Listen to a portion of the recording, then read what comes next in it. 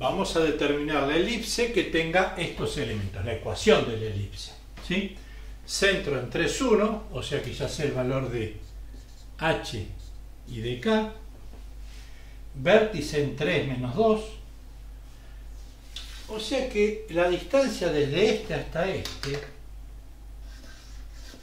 es lo que llamamos B. Entre centro y vértice es A si es horizontal y B si es vertical.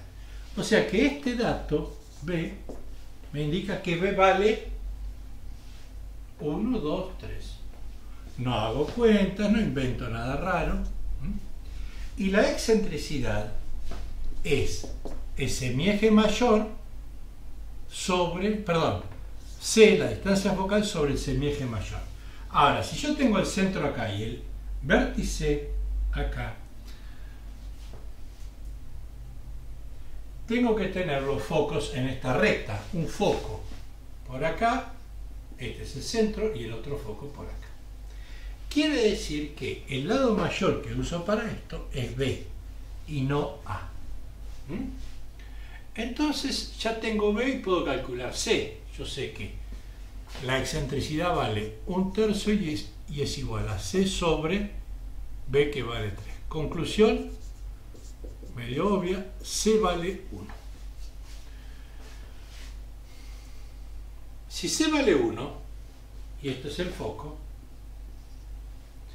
voy a tener así, miren, el vértice está acá abajo, 3 para arriba está el otro vértice, va a ser una elipse así, de eje vertical. Esto es A, esto es C, del centro al foco es C, y esto es el semieje mayor, que también es esto, ¿eh? pero esta dimensión coincide con esta. Conclusión, tengo la ecuación que sale del teorema de Pitágoras, que b al cuadrado es igual a a al cuadrado más c al cuadrado. ¿Mm? ¿Tenía el valor de a? No, es lo que tengo que calcular. Tengo el de b, 3.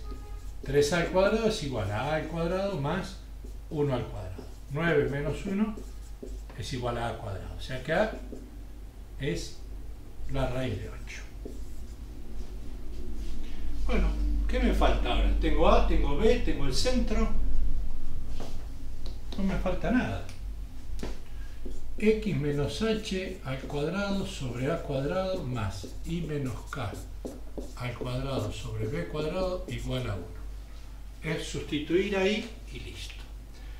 H dijimos que es 3. Me queda x menos 3 al cuadrado dividido. a cuadrado vale 8 más i menos k. La otra coordenada del centro es 1, i menos 1 al cuadrado sobre b cuadrado es 9, ya tengo la ecuación. Sale directamente, no tiene ningún historia. ¿Mm?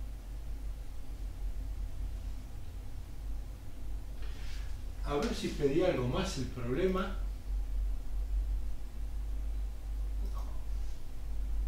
Listo, se acabó el problema.